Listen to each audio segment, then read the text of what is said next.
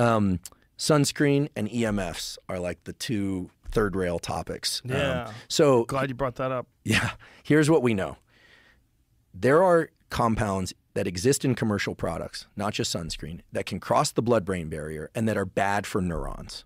Period. No, that is indisputable.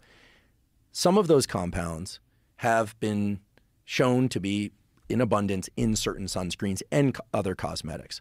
So I'm not saying that all sunscreen are bad. I'm saying that there are some sunscreens that contain some things that, were they to get across the blood-brain barrier, would be bad. In what a- are those things? um, these are these are small molecules that can cross the blood barrier into neurons and that can cause neurodegenerative like conditions. What right? things? Um, well, these are typically associated with triclosans and some of the other things that are shown to be in certain detergents and soaps. Like they're they're detergents and soaps that are now off market because they contain some of these very small molecules related to triclosan, triclosans and related products. But there are healthy, there are safe sunscreens. There's no question. Like, what's a good safe sunscreen? Uh, so there we get into brand names. I, that's a tricky one. I don't want to get too outside my wheelhouse. I'm researching this for a future episode. This is really a place where I want to I want to tread carefully. Here's what I think is important for people to know: not all sunscreens are safe. Not all cosmetic lotions are safe. Not all cosmetics are safe. I think we're probably going to arrive in a place not that different from the silicone breast implant kind of landscape, where it turns out depended on what implant and how long they were in and you know what they were packaged in like so many things like tryptophan the amino acid that was people used to enhance sleep now you get it readily but it was banned for a long time because a few people actually took tryptophan that had contaminated binders. It was the stuff that was in there with it, and they got very sick, and, and there were some fatalities even. Mm. And so it was taken off market for years for all the wrong reasons. I mean, taken off for good reason, but it was the binders, not the tryptophan.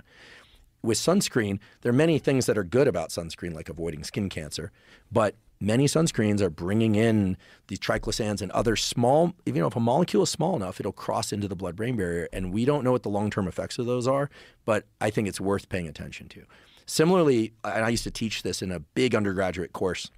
If you look at the data on EMFs and you look at the data on cell phones, you will find animal studies that show that if you put a cell phone under a rat's cage or a litter of rats' cages, and two separate studies, you'll find dramatic decreases in testosterone in some studies, and you'll find subtle increases in testosterone in others.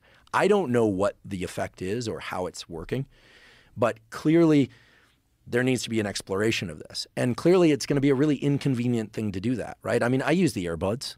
I, I use the earbuds, but nowadays I sort of wonder should I maybe use the wire things more? You I've know? been using the wired ones more. yeah. Yeah, because I, I'm chicken shit. I'm hearing things, Well, but I don't know what's real. People like start freaking out about EMFs. I'm not sure if they're right or if they're tinfoil hatting it. Yeah, and I'm in the same boat. And I'm sure that some of my colleagues, you know, the moment we say, you know, EMFs and sunscreen, people are going to freak out. And yet, I will go on record saying that some of the very scientists who say, "Oh, like don't even worry about this," they're some of the most unhealthy looking people That's I've ever seen. Yeah, you know, a- so they're not really incentivized to get it right. Nor am I a conspiracy theorist. But here's my wish: is that we look at everything and we look at it objectively, and that we take into account that there are some animal data that point to the fact that getting these EMFs in close proximity all the time might might not be the best idea. There's certainly some kind of an effect. It depends on the individual and the dose and a lot of stuff. But that, what you're saying about scientists is a, is an issue as well. There there's certain people that they're talking about things that affect your health, and they're clearly unhealthy. It's like, boy, that's a hard pill to swallow coming from you. Well, and I think you know we go back to Liver King and some of the other more uh, colorful aspects of online nutrition and health information. Yeah. People wonder. I actually saw some. I made the huge mistake of going onto Twitter in the last couple of years. I never really was on Twitter, and it's such a weird landscape, as you know.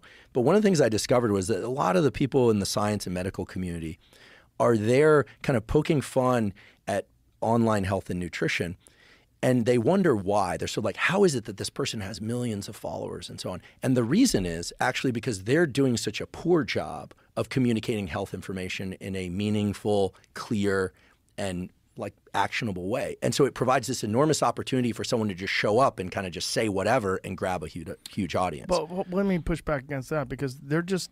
Uh, how would someone who's a legitimate professor make some kind of an impact online. Come on my podcast. But that's maybe the only way. Like you'd have to find an established portal Sure. or create your own. And that's a long, laborious task of building up an audience and providing them with good content and hopefully getting on a podcast where people like have a, a, a large audience and an appetite for that kind of a thing. Or, or I mean, or more realistically, go on your podcast. I mean, That's what I was saying. I mean, really. yeah. I mean, I think that Yeah. what you know what